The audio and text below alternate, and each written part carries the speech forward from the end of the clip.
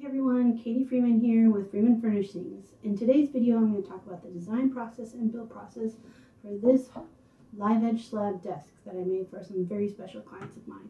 So let's go ahead and get started with the design process.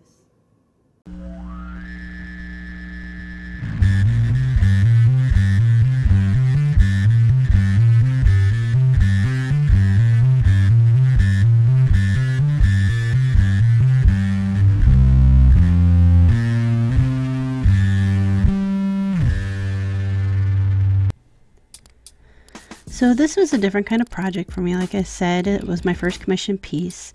So the clients came to me and they said they wanted a desk and they wanted it to be kind of raw, natural, industrial.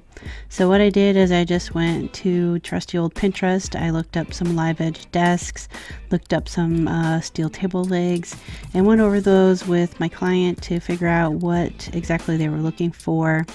Um, they decided they really liked the look of a lighter wood, so we, we uh, thought most likely we're probably going to go with maple. Um, and just for my purposes, I went ahead and kind of just did a little sketch up. There's a live edge um, tabletop, and uh, we went with um, A-frame legs with a cross beam across. And forgive my sketching skills.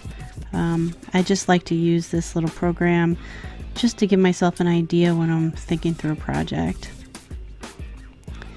So I took my clients uh, to a local sawmill with me. I thought that would be best. It was a good experience for them too, because as we were talking about lighter woods, you know, of course there's maple, uh, which is what we thought we would like, but we saw other things while we were there. Um, there was some cedar, there was some hackberry, there was some white oak.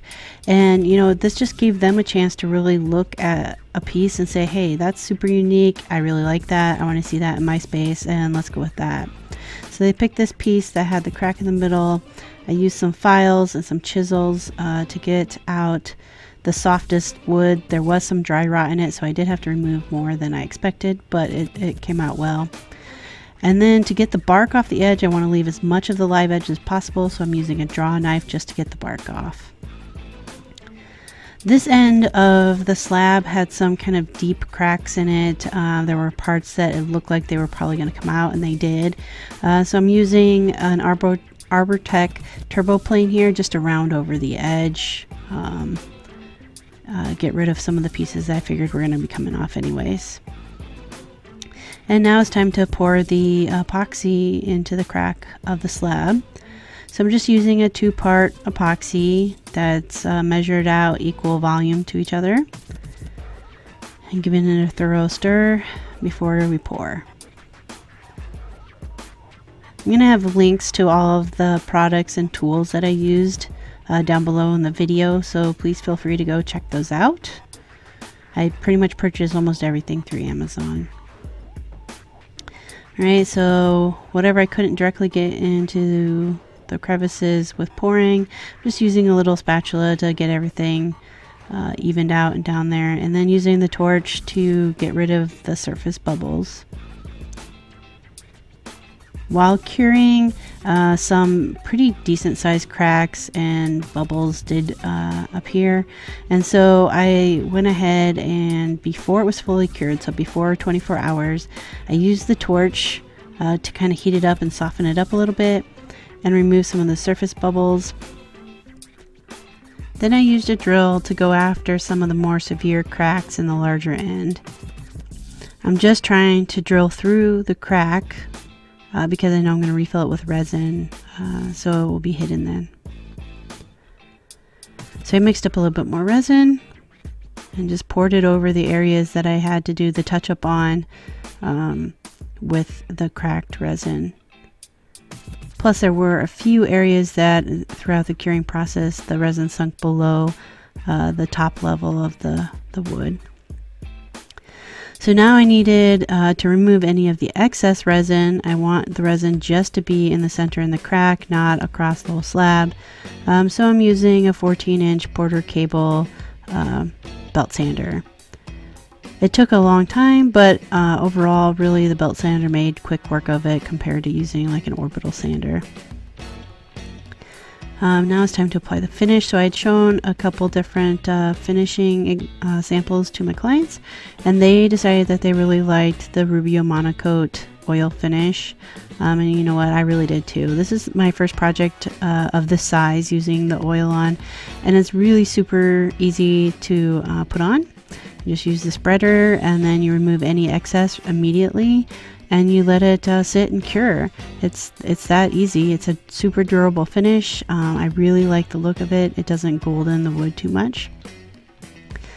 And then of course, you know, we all need to have a little fun around the shop. I had some things I need to pick up. Trying to improve on my basketball skills, which, um, if you can't tell from this video, absolutely suck. But I'm going for it. Alright, third time's a charm. Woohoo! Okay, so I have the top down done. Now I need to go on to the beam.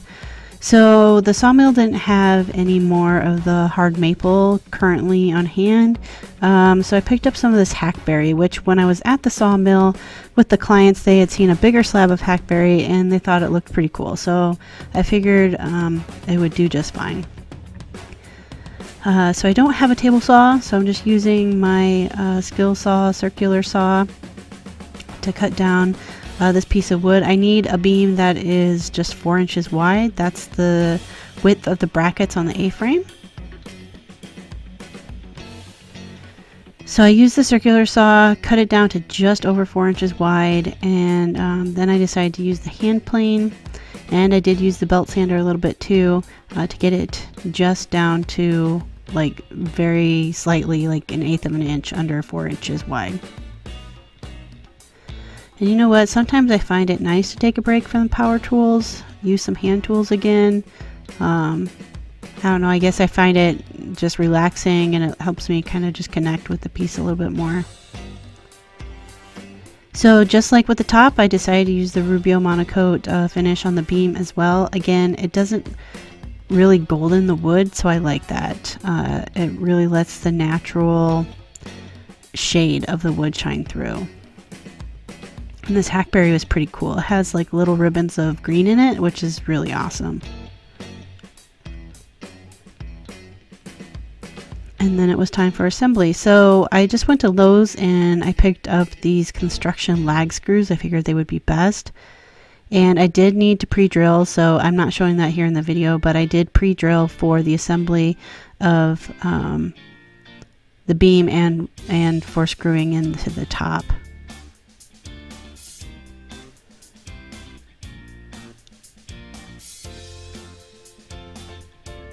It's pretty slick using the, the lag screws for sure. And you'll see that the, the leg uh, plate there has slots in it and that's to allow for wood movement. So as the wood expands and contrasts with moisture, the screws can move also. So you shouldn't get cracks in the top. And then I'm finishing it up with Howard's Feed and Wax. I really love using this product as as my finisher on top of any finish really. Um, just provides a nice little extra sheen to it and who doesn't love that orange oil smell?